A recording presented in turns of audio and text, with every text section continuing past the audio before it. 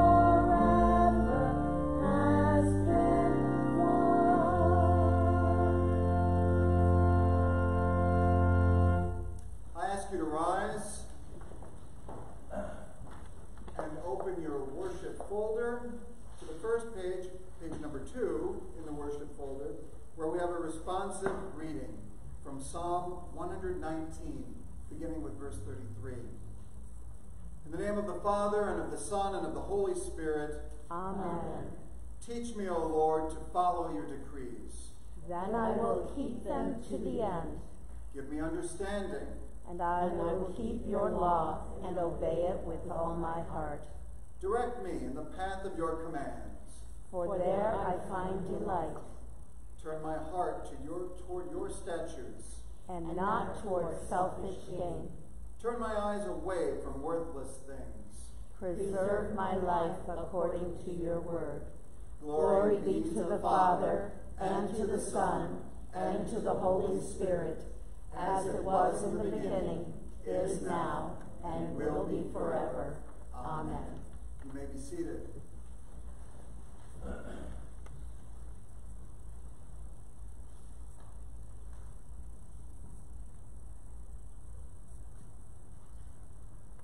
Our scripture reading this morning comes from, or this evening comes from John chapter 15, beginning with the first verse. I am the true vine, and my Father is the vine dresser. Every branch in me that does not bear fruit, he takes away, and every branch that does bear fruit, he prunes, that it may bear more fruit. Already you are clean because of the word I have spoken to you. Abide in me, and I in you as a branch cannot bear fruit by itself unless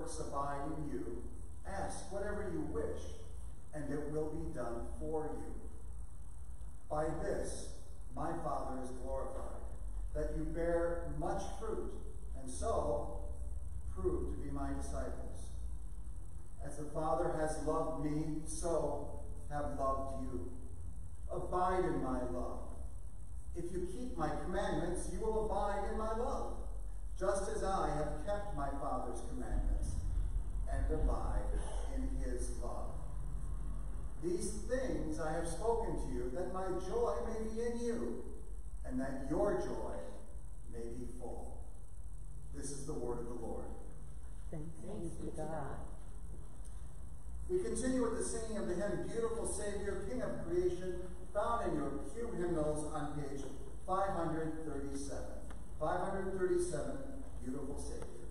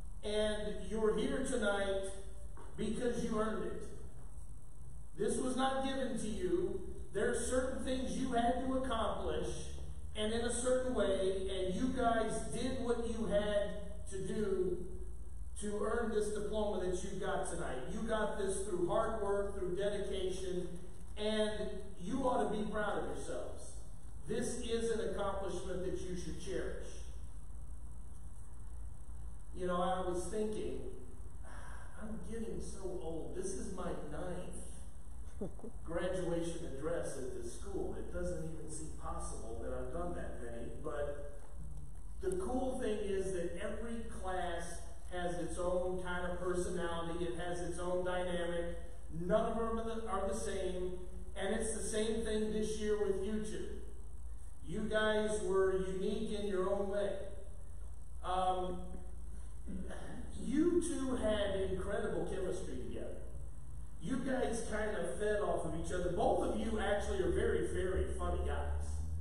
Um, you guys made me laugh a lot, and that's hard to do because I'm getting to be a grumpy old man. But you guys made me laugh quite a bit. You guys are funny.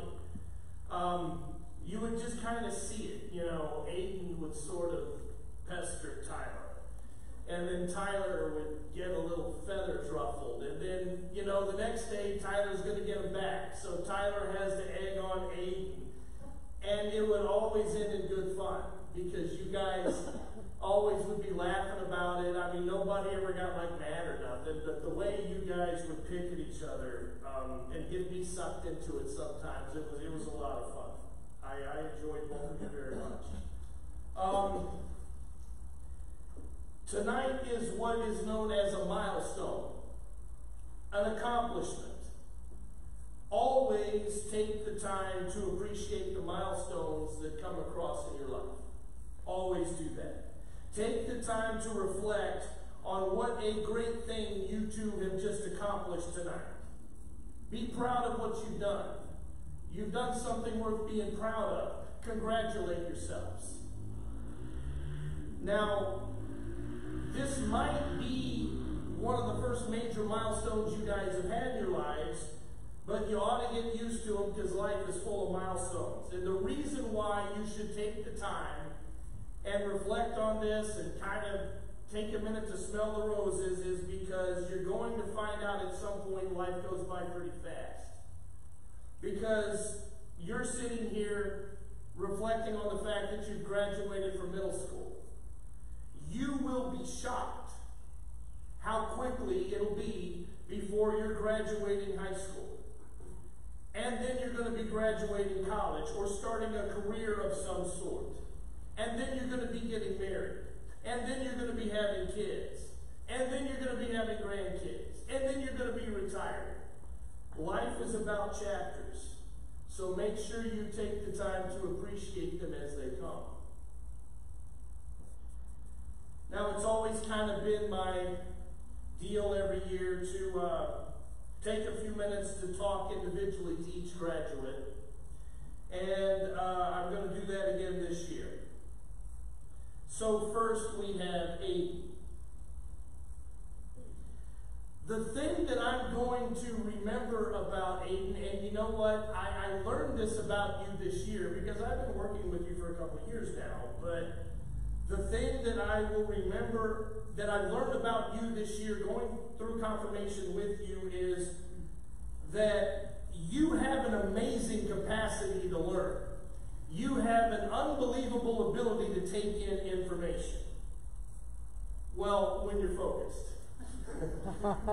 when you have your mind on what you're doing, it's like soaking up information with a sponge. I mean, Every year when confirmation time comes around, it's always very hectic because it's always in May. It's the end of the school year. You got a lot of stuff going on. And I'm always stressing, okay, have I prepared them to pass the oral exam? Because, you know, the oral exam's kind of tough, right? And so this year was a little extra busy for me, and I didn't have as much time to spend with you as I would have wanted, so I'm kind of like, boy, I hope he knows this stuff.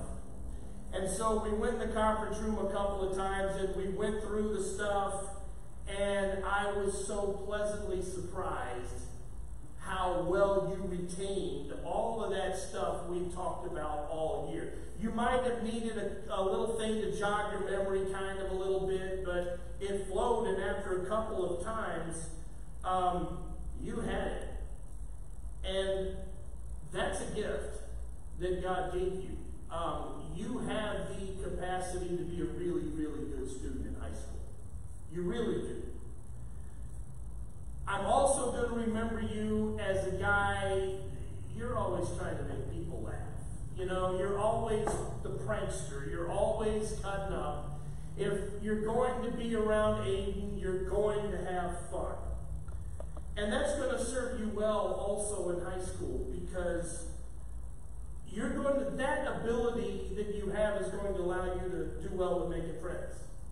You're always going to do well with making friends because you're fun to be around, and yet at the same time, even though I see, you're a man after my own heart, actually, because you like to joke with people, you like to pester people, you like to annoy people. That's what I do, and you're pretty good at it. But at the same time, you're also a very caring person. You really do care about the feelings of the people around you. And so when you put all of that stuff together, um, you're going to do really well. So don't change a thing and stay focused, and you're going to do amazing in high school. And my friend Tyler,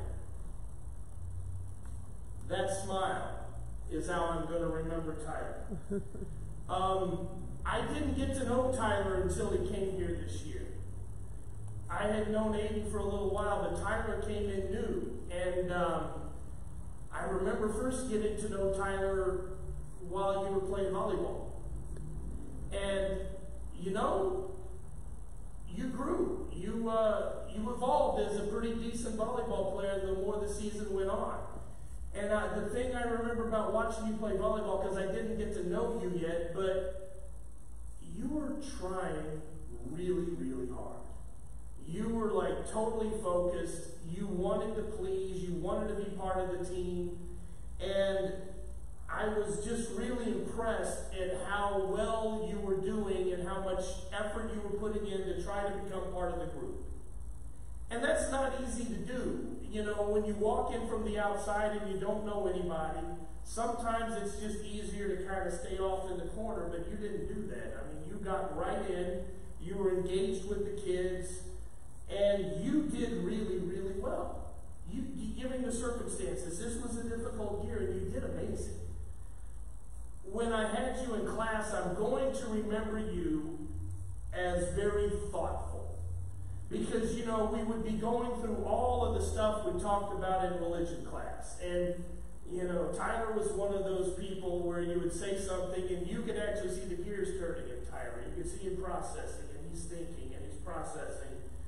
And Tyler would be the one in the middle of some rant that I was on. Tyler would raise his hand and he would always have this incredibly thought provocative question. Tyler was always asking questions. Tyler thinks. Tyler is a very thoughtful young man. Tyler is also very intelligent. Now, the thing, the also, to, to me, the thing that shines through about Tyler is that Tyler is an incredibly, incredibly kind human being. You are a very, very nice guy. You're a funny guy. You're likable. You're a good person. And these also are qualities that when you go to high school, it's going to serve you very, very well because the world needs a lot more good people. And in a world that just sometimes loses its way, you can be that nice guy, nice kid in school that people will naturally be attracted to because you're different. So when you go to high school, all you have to do is believe in yourself because you're a good person and you have what it takes to succeed just like Aidan does. Believe you can do it, and you will. You were, you were a real joy this year. You really were. So now, middle school at Trinity's over with. Next is high school. Um, y'all ready for high school?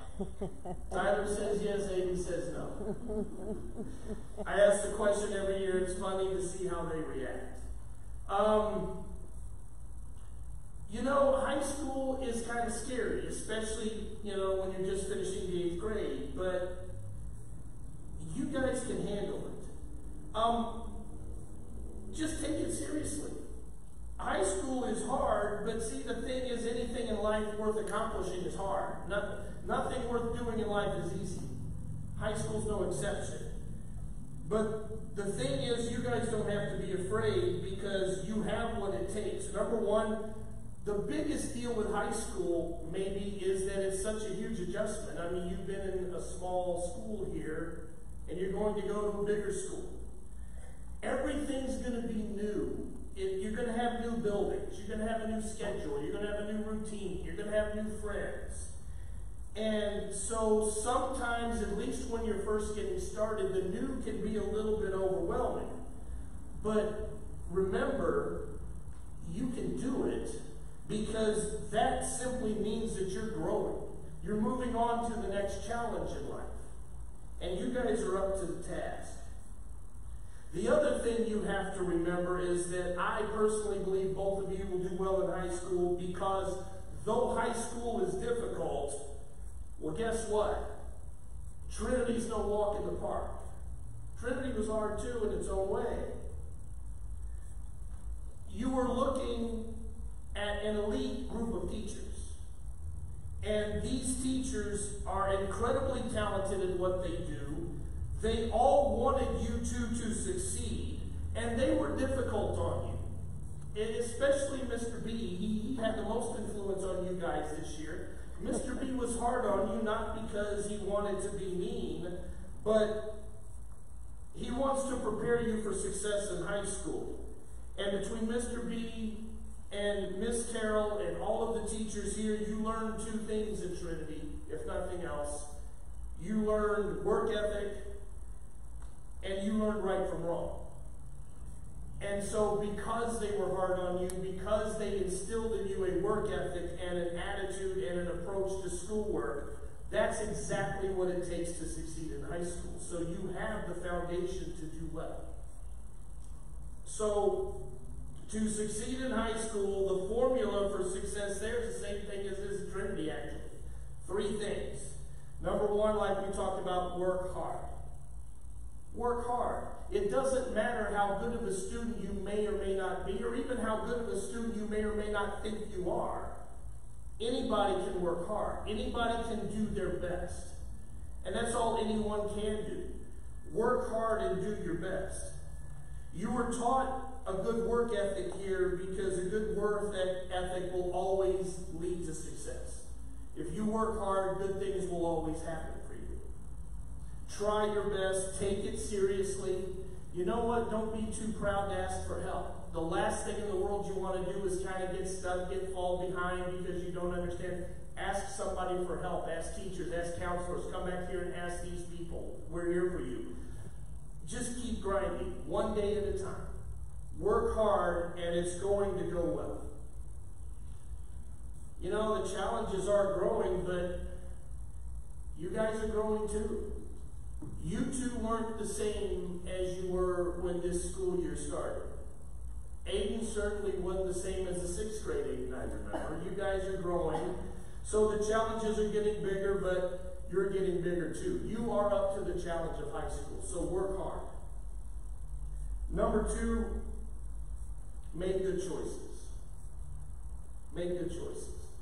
The simple fact of truth that I hope you never actually find out is that the consequences for poor decision making get more difficult the older you get. Because if you guys make poor choices now, all right, maybe you'll get grounded, maybe you'll have something taken away. when one makes poor decisions as an adult, sometimes they can actually be life altering. Now, the good news is you have been taught right from wrong between your parents and between this school. You know what is right, you know what is wrong, you know what is a good choice and what is a bad choice. So you have been prepared to make wise choices. So make wise choices. All right, so one, work hard. Two, make good choices. Number three, and the most important, never forget how badly you two need Jesus. Everybody needs Jesus. I need Jesus. The teachers need Jesus. We all need Jesus on a daily basis. Now, the thing that may very well change for you that you've got to adjust to the most is in a Christian school, you're going to get religion taught to you every single day. You don't have to work very hard in a Christian school to be connected to Jesus. But if you go to a non Christian school, that's not going to be the case. So it becomes all the more important for you to stay connected to Jesus through going to church. You know, we got to do it one more time, right? Aidan, what's the third commandment? that is correct. Um, Tyler, if I were to ask you to explain what the meaning of that commandment is to one of your friends, what would you say? Remember the cell phone analogy I taught you to? Do you remember that one? Tell me you haven't forgotten that. All right, bail him out, Aidan. He's freezing like a deer in the headlights. What were you taught about the meaning of the third commandment? Um, you go to church to uh, recharge your faith. That's how you recharge your faith, because if you don't recharge your faith like a cell phone battery, it's going to get weak and it's going to die. You got to plug in your phone. You got to charge your faith, and that's what happens in church. You don't go to church to kind of get in good with God or whatever. You get in church, you go to church because you need to be here. We all do. That's how God gives you his strength. Now, the thing is, we said to work hard and make good choices. Jesus gives you the mentality to have a good work ethic because good work ethic is a godly attribute. And Jesus will help you make good choices because a good moral compass also comes from Jesus. So, in actuality, Jesus is the key to success in high school because he's going to keep your mind and your heart right focused on doing what you're supposed to be doing. He gave you the skills and the blessings that you guys have, and He's going to keep them strong. So remember, work hard, make good choices, and you need Jesus. Now, lastly, and this is always the part that I don't like every year, but I got to do it. I want to take a moment to tell you to thank you because you guys were a lot of fun to me. Every year, I always seem to learn as much from the students as I feel like I teach them. Maybe I even learn more than I teach. But you guys were a class that I look forward to teaching.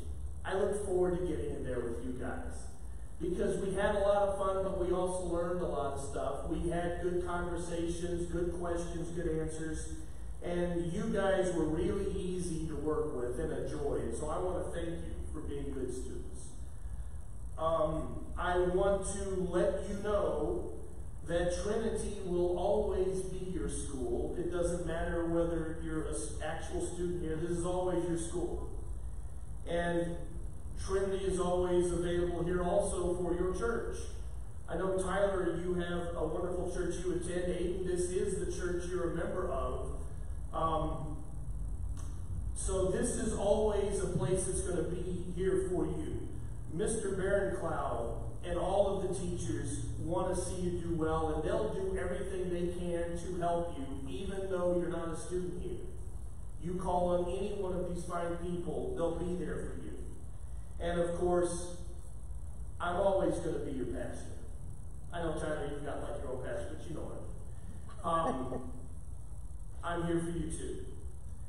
So, thank both of you very much. I'm going to deeply miss both of you. And I love you both. God bless you.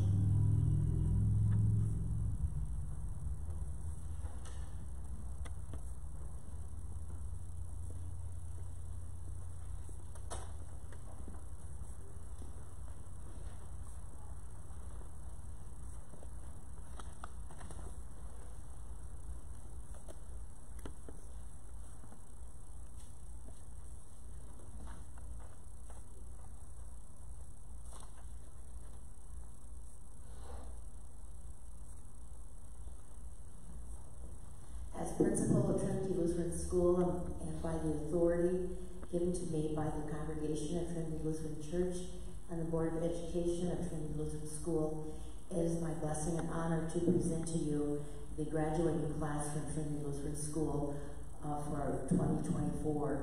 They have met uh, all the goals and accomplished uh, what uh, enables them to go into the next level of education. Please, please rise, students. Aidan Michael Harrison.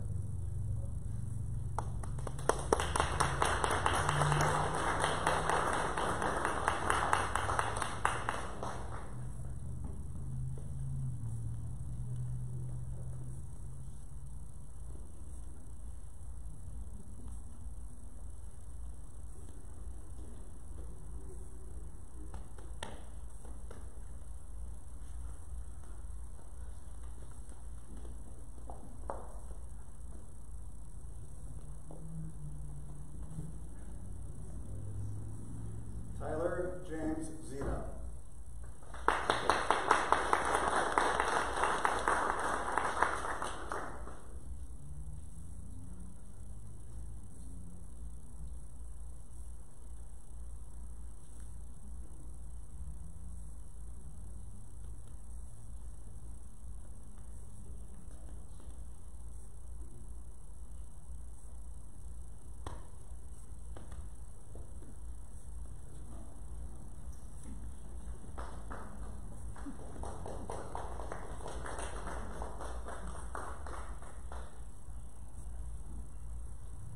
And gentlemen, will you turn around and face your friends and family and receive their congratulations?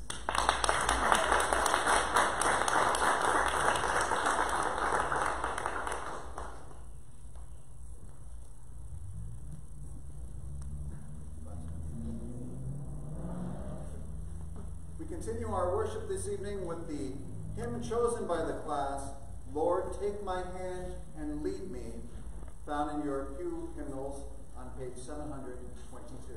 722.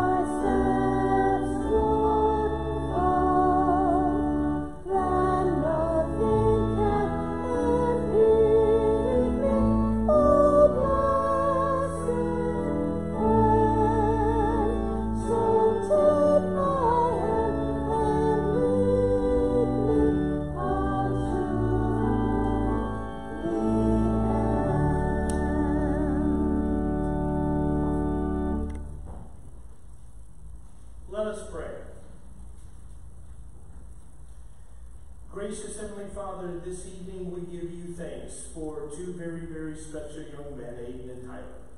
We thank you for the gift of life that you've given them. We thank you for all of the gifts of uh, intelligence and warm, caring hearts that you also gave them. You've given them wonderful families, and you've also given them eternal life through their Savior Jesus. You've given them faith in Jesus as Lord and Savior, and you've allowed them to be taught everything they need to know about Jesus and their salvation. We ask that you would be with them and their families this summer and be with them especially next school year as they transition into a new setting. Uh, remind them that they have everything that they need to succeed and they also have you. Uh, give them wisdom to make wise choices and to work hard. And give them the courage to seek out assistance as they need it and keep providing for them all that they need as you have done so far. We ask that you would do this in the name of Jesus, in whose words we now pray. Our Father, who art in heaven, hallowed be thy name. Thy kingdom come, thy will be done, on earth as it is in heaven. Give us this day our daily bread, and forgive us our trespasses, as we forgive those who trespass against us. And lead us not into temptation, but deliver us from evil. For thine is the kingdom, and the power, and the glory, forever and ever. Amen.